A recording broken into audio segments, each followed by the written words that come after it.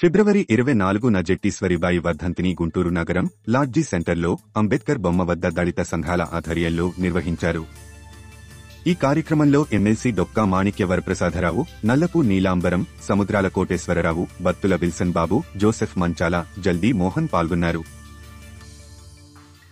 డొక్క మాణిక్య వరప్రసాదరావు మాట్లాడుతూ పూర్వపు హైదరాబాద్ సంస్థానంలో సామాజిక సేవారంగంలో గణనీయమైన కృషి చేసిన వారిలో ఒకరు జట్టి ఈశ్వరిబాయి అని తరతరాల నుంచి సమాజంలో పీడనకు గురి అవుతూ బానిసత్వంలో మగ్గుతూ అణగారిన ప్రజలకు విముక్తి కలిగించడానికి ఆమె ఎంతగానో కృషి చేశారన్నారు.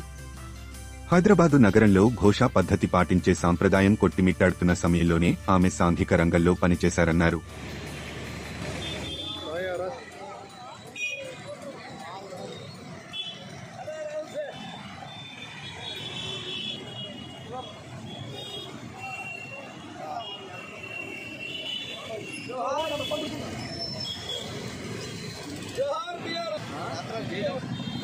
శ్రీమతి ఈశ్వరిబాయి గారి జన్మదిన కార్యక్రమం సందర్భంగా రాష్ట్ర ప్రజానికానికి దళిత వర్గానికి శుభాకాంక్షలు. ఆమె అంబేద్కర్ గారితో కలిసి పనిచేసింది శాసనసభ సభ్యులుగా ఆంధ్రప్రదేశ్ శాసనసభలో చేశారు. రిపబ్లిక్ పార్టీ నాయకులుగా రాష్ట్రం అంతా సుపరిచితురాలు. ఆమె అసెంబ్లీలో ఒక టైగర్ లాగా జీవించింది.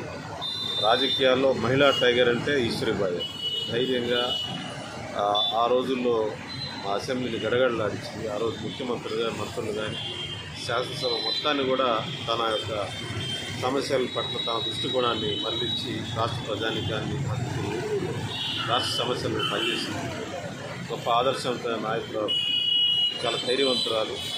దళిత వర్గాల నుంచి అంత మహోన్నతమైనటువంటి మహిళా నాయకురాలు రావడం అనేది చాలా గొప్ప విషయం చరిత్రలో ఆ అంబేద్కర్ ఆలోచన తన జీవితకాలం కూడా ఆచరించినట్టు ఆమెను ఆదర్శం తీసుకుని ఈరోజు మత్యాల జోసఫ్ గారు సముద్రాల గారు వీళ్ళంతా ఈ కార్యక్రమం చేయటం నిజంగా అత్యుత కార్యక్రమం.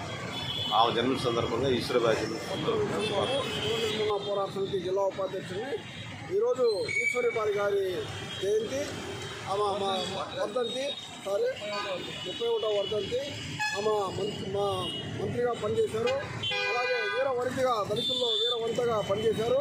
గతంలో దామోదర్ సంజయ్ గారు భారతదేశంలోనే తొలి దళిత ముఖ్యమంత్రిగా పనిచేసిన కాలంలో నెల్లూరు సంబంధించిన అగ్రకుల ప్రజాప్రతినిధి ఒక దళితులైన శుభకర భావంతో ఆ టేబుల్ మీద కాళ్ళు పెడితే ఆమె చెప్పు తీసుకొని కొడతానని చెప్పి ఈశ్వరబాయి లేచింది.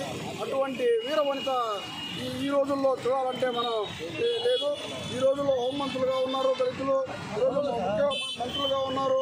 ఈరోజు ఎమ్మెల్యేలుగా ఉన్నారు కానీ ఈరోజు మనకు అంబేద్కర్ భవనం పదమూడు సంవత్సరాలైనా కానీ ఇంతవరకు అది అరాకొర పనులతో ఆగిపోయింది. ప్రారంభోత్సవాన్ని కూడా రాజ్యాంగం ప్రకారం అంబేద్కర్ వారసురాలుగా అంబేద్కర్ సిద్ధాంతాన్ని నడుచుకుంటూ కృష్ణా జిల్లా గంజించాల గ్రామంలో ఒక కోటేశ్ అనే ఒక దళితుడిని పోలీసులు అక్రమంగా కొట్టి చంపితే ఆ కేసు విషయంలో అసెంబ్లీలో చెప్పుతా విసిరి మంత్రులు సైతం లెక్క చేయకుండా మాదిగ జాతి అని కాకుండా దళిత జాతుల్ని కించపరిచి విధంగా పాలక వర్గాలు పనిచేస్తున్న రోజుల్లో ఆమె అంబేద్కర్ ఆలోచన చట్టాల ప్రకారం అమలు చేయమని పోరాటం చేసిన వీరవనిత ఆమె ముప్పై ఒకటో వర్ధన సందర్భంగా దళిత ప్రజా సంఘాలు రాష్ట్ర వ్యాప్తంగా జరుపుకుంటున్న సందర్భం చాలా సంతోషకరమని ఈరోజు మా గుంటూరు జిల్లా నుంచి ఆమెకు నివాళులర్పిస్తున్న దళిత ప్రజా సంఘాలు